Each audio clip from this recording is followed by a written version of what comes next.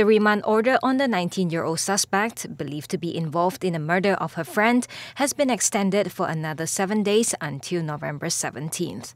The Marang Magistrates Court on Monday allowed the police application to enable further investigation under Section 302 of the Penal Code. The suspect, who had attended the same secondary school as the victim, was arrested at the Telemong police station on November 2nd when she turned up for questioning with her mother. On November 1st, Siti Nur Surya Ismail, aged 19, was found dead with slash wounds in the living room of her house in Kampong Lubuk Batu. According to police, the suspect had visited the victim around 9 a.m. that day and a fight broke out due to a misunderstanding.